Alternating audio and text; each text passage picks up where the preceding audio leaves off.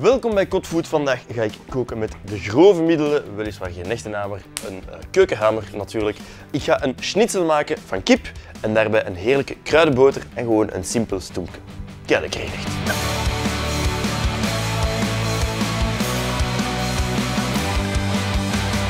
Ik ga mijn lievelingsstuk kip gebruiken. Dat zijn ontbeende kippendijen. Waarom? Dat zit aan het been, er zit veel meer smaak in, het is sappiger, goedkoper dan kippenfilet. Dus dat gaan we gebruiken.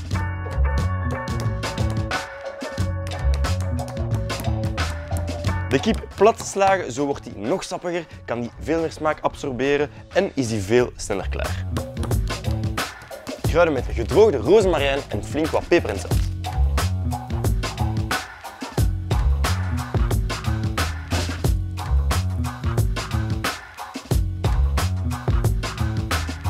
En nu paneren een klein beetje bloem, een losgeklopt eitje, paneermeel uiteraard. Een klontje boter in de pan, goed warm laten worden. Lichtjes bebloemen. En een goed trucje, het droge hand en het natte hand. Droge hand alleen de bloem en de chapluren. Met het natte hand in het ei en dan terug met het droge hand in de chapluur. En de schnitzel nu ongeveer 5 minuutjes bakken per kant op een middelmatig vuur. Terwijl dat, dat bezig is, ga ik me ontfermen over de kruidenboter. En daar heb je uiteraard boter voor nodig, maar ook een tintje look.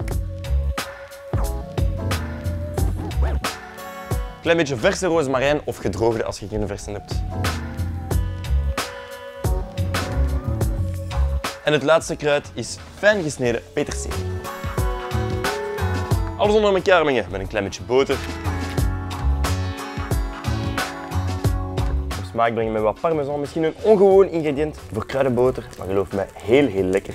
Kruidenboter mag echt veel smaak hebben, dus ik ga een beetje zesten van citroen toevoegen, sap van citroen, peper en zout en dan alles goed onder elkaar mengen. De schnitzels zijn klaar, de kruidenboter is klaar en daar komt een broccoli-stoem bij. Simpelweg wat aardappelen en broccoli koken totdat ze gaar zijn en dan opstoempen met een klein beetje boter, peper en zout.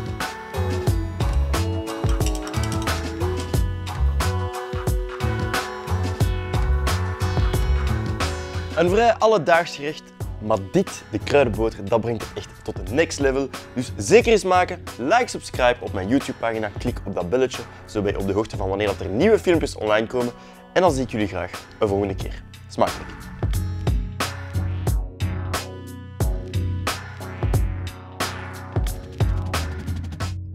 De Supreme Chef van Whirlpool is een beest. Heb je gezien om deze microgolf ter waarde van 300 euro te winnen voor op je kot? Klik dan op onderstaande link.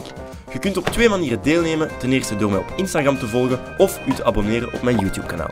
Door ze alle twee te doen verhoogt je uiteraard uw kansen om te winnen. De wedstrijd stopt op vrijdag 5 oktober om 8 uur s avonds en de winnaar zal willekeurig gekozen worden uit alle deelnemers. Veel succes!